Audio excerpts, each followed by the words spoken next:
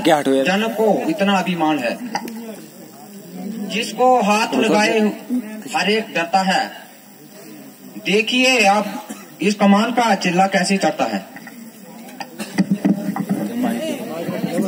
Mic mic mic.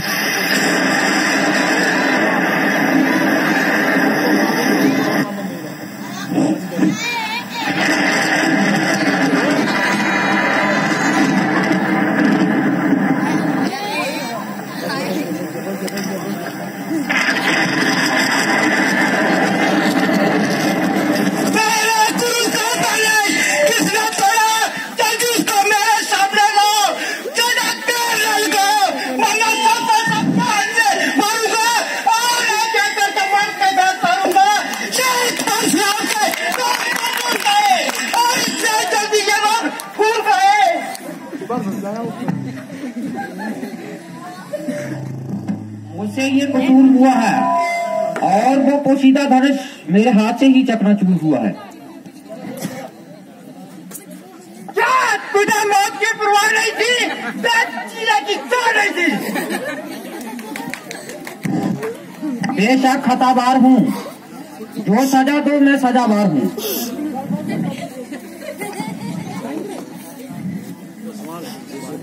अच्छा अभी बताता हूँ। का दिखाता हूँ। आजी महाराज, क्यों गेंद की तरह उछल रहे हो और बेवजह मैदान से निकल रहे हो? वो कमान तो कब से गली सड़ी पड़ी थी और ना मालूम कब से बेकार पड़ी थी। जिसके लिए आप इतना चिल मिला रहे हैं और कैंची की तरह जबान चला रहे हैं बराबर रखे और लांदा है कभी पर्सा संभालते हो तो कभी आँखें दिखाते हो। अगर कुछ मतलब है तो बता दीजिए वरना चुपके से अपनी राह लीजिए।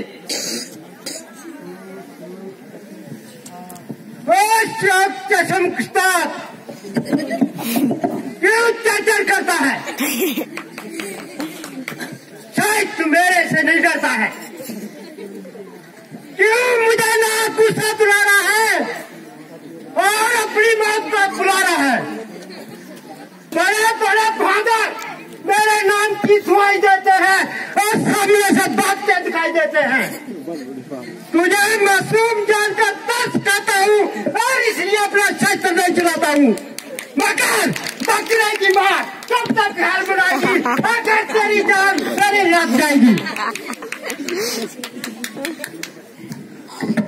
क्यों बच्चे से नाहक लड़ाई करो? ब्राह्मण होकर कुछ समाई करो। बच्चा नहीं चार की बेल है समझ रखा इसमें मुझे खेल है।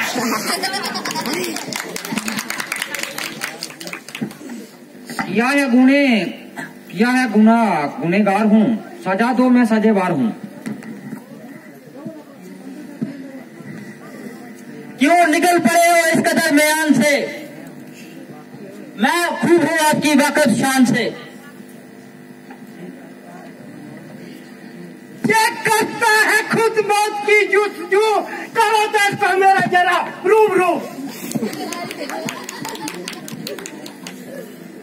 लक्षण भी कोई, तमाशा नहीं। जो मुँह में डालोगे तो बताशा नहीं। कोई, दूरा नहीं। क्या डाला के मुँह में कोई, कबीरा नहीं।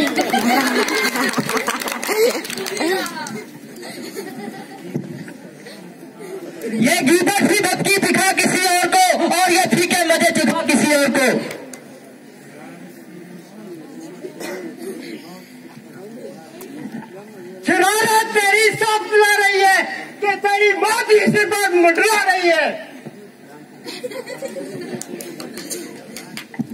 महाराज, लक्ष्मण तो नादान है। मैं भी हुआ है।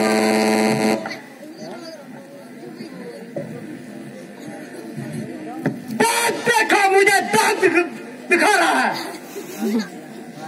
और शरारत से अभी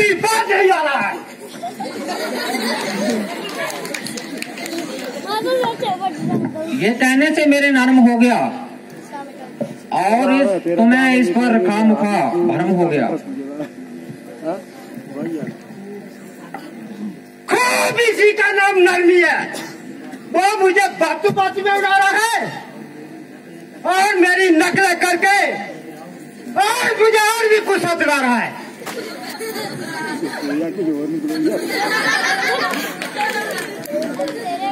सामने से चला जाओ वरना कच्चे को चुरा जाऊँगा तुम इसका मेरी आँखों से दूर कर दो।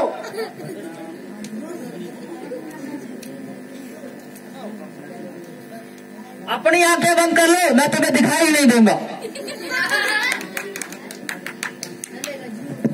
तू मुझे मत दिखाई दे, मैं तेरे के तेरी आवाज़ भी मेरे कान तक न सुनाई दे। इसका इलाज तो बिल्कुल आसान है। अपने कानों में उंगलियाँ दे दे, आपको चारों तरफ़ से सुनसान है। तू बड़ा शरीर है आदमियों की तरह बात कर वरना मेरे हाथ में भी तीर है।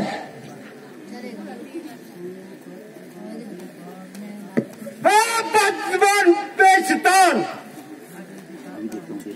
अभी दिखाता हूँ ये तेरा तीर कमान